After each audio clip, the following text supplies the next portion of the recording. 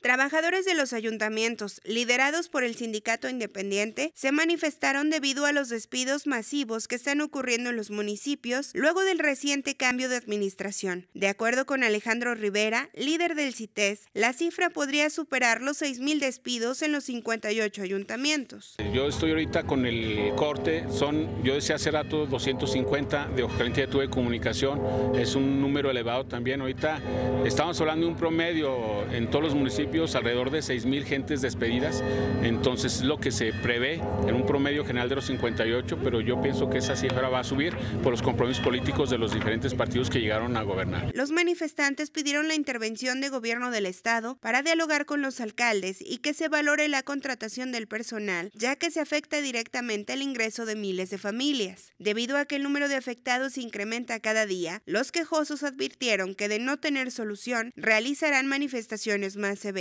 La idea es que, que también el gobierno del Estado, dentro de la esfera que le compete, participe y sea eh, coadyuvante para tener acercamiento con los eh, municipios y con los presidentes municipales a efecto de revisar y que no se afecte a la clase trabajadora. Porque de, hecho, si no se empieza a parar esa cascada de despidos injustificados, pues sí vamos a hacer ya protestas más fuertes, eh, siempre con el respeto ah, y restricto pues hacia las autoridades, pero que finalmente pedimos ese mismo respeto para la clase trabajadora. Durante su protesta en Plaza de Armas, los trabajadores fueron atendidos por el subsecretario de Concertación y Atención Ciudadana, Alfonso del Real, quien manifestó la disposición de gobierno del Estado para coadyuvar en un diálogo y una posible solución del conflicto que ha afectado a muchas personas. Los ayuntamientos son la parte estrictamente responsable, es con ellos quien, con quien los trabajadores tienen la, relación laboral.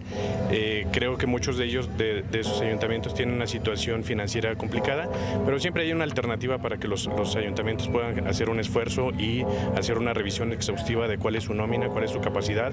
El gasto corriente siempre es, un problema en muchas de las administraciones municipales, pero estoy seguro que todos eh, eh, trabajando en conjunto, tanto municipio, gobierno del Estado en lo que nos competa y, y las representaciones de los podemos llegar a buenos acuerdos. Con imágenes de Jorge Torres para Sistema Informativo CISART, Adriana Villamil.